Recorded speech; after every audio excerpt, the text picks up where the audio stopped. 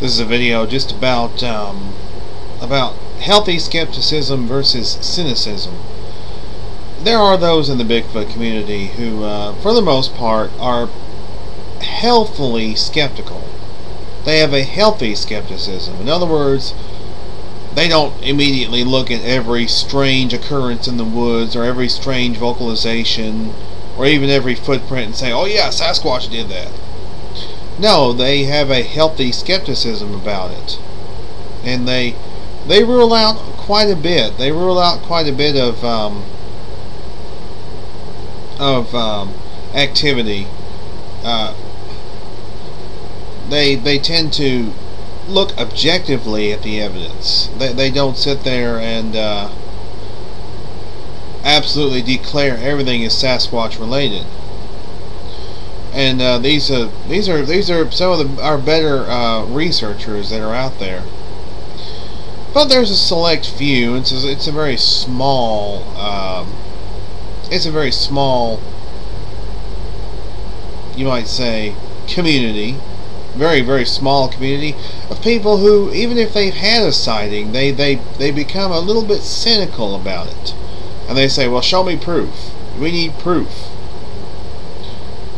Uh, and then they don't look at the evidence that is out there. They say, well, that evidence can be faked, uh, or these are all just campfire stories until we bring in a body, or something like that. That's not the right attitude to have. That's not the correct attitude to have at all. We should look at the evidence, look at the look at the the the body of evidence that is out there look look at what we've got. You know, I addressed the evidence uh, issue the other day, and I agree. We don't have the proof yet. We have evidence. We've got all kinds of evidence, and, and if you'll refer back to a video I did the other day about the evidence, you'll see that I've discussed some of the aspects of evidence and what we have. No, we don't have the proof. That's true. We don't.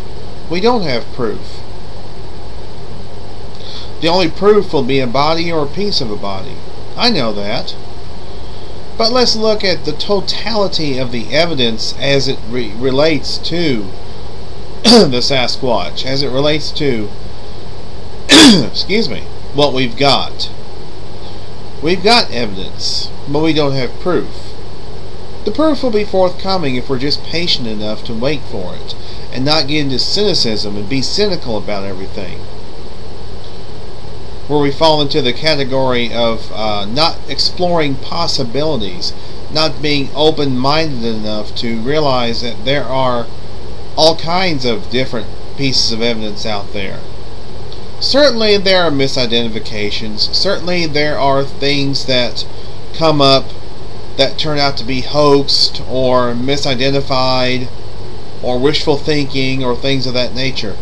But as uh, John Green wrote in his book, Sasquatch the Apes Among Us, if just one of these reports is the real deal, then you've got something that you can deal with a species, a species of hominid or ape. Nobody knows exactly what Sasquatch is. There are those who say, well, there are no experts in this, but there are those who are touted as experts in this that's not a designation of the people that are being touted as experts. The people who are being touted as experts are being touted that by others. They themselves are not saying, I'm an expert. They themselves are not saying that. And there are those who look upon these so-called experts and say, well, you're not an expert on Sasquatch. Well, maybe they're not an expert on Sasquatch, but they are an expert on various aspects of Sasquatch. They are expert at something like anatomy, foot anatomy, uh, bodily anatomy. They're experts at determining a real footprint from a fake one. They're experts at some of the literature, some of the um, folklore of Sasquatch. They're not experts on Sasquatch itself. No one is. We know this. We all know this. But there's people who have different areas of expertise that they are using to try and gain final answers in this mystery.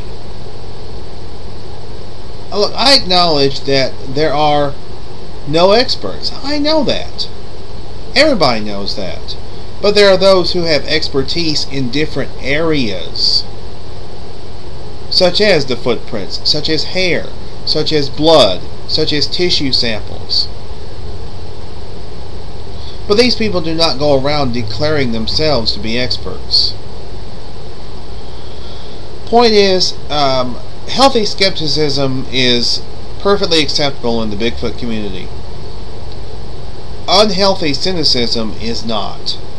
That's just my personal take on that. I don't think personal unhealthy cynicism has a place in Bigfoot research. That kind of attitude can get somebody killed. And that's just how I feel about that. Thank you.